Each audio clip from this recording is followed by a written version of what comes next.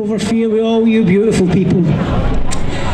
Especially on this, the 10th anniversary of this annual gathering of hope and defiance.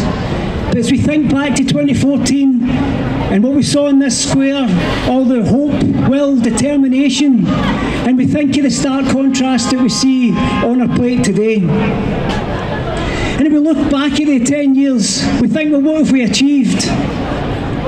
We've achieved 10 years of missed opportunity, 10 years of wasted mandates, and above all, from the folk that we've elected to represent us, 10 years of cowardice.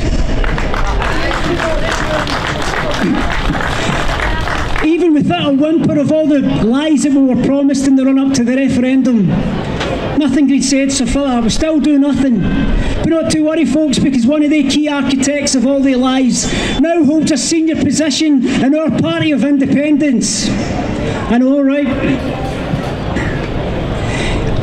I'm afraid for me today, folks, it's less hope for me, but more about anger.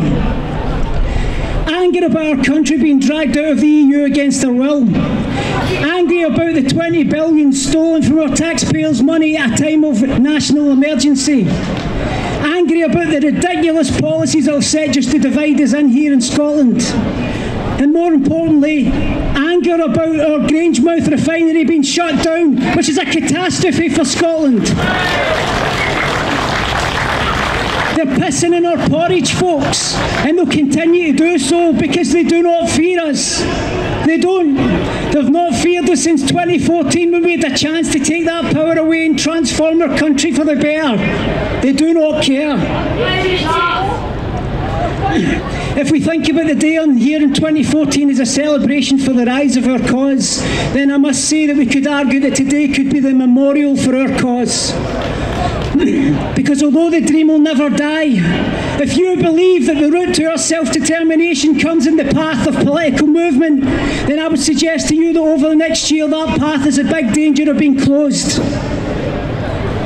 With this Labour Party, ultra unionist Labour Party here in Scotland, many who regularly exchange their red rosette for an orange sash their plan for pacification of Scotland is already well underway, no more so than that symbol of colonialisation in the Scottish office that towers over our elected Parliament in Holyrood. Its only intention is to bypass and subdue our powers here in Scotland going forward. To the extent that Mr Salmond, he himself renamed the Scottish Executive to the Scottish Government well, I would suggest that Mr. Swinney may want to rename the Scottish Government to the Big Council Office because that's all it is these days. I appreciate that we've got a Scottish election looming. And with uh, our political wing of our movement still on its way back from the night march for Nairn, we've got some real choices to consider in this dilemma. Ideally, we would be wanting a chock up parliament full of pro independence, independent candidates, ALBA and ISP from top to bottom. The problem, though, with that, folks, is it requires all of us to work together, pull the same direction, and I'm afraid that's not been a strong point in recent times. I would argue that we've all believed that the SNP were formerly that vehicle towards our political party independence. The problem with that vehicle is the drivers there have took key parts out the engine and are trying to drive the vehicle off a cliff.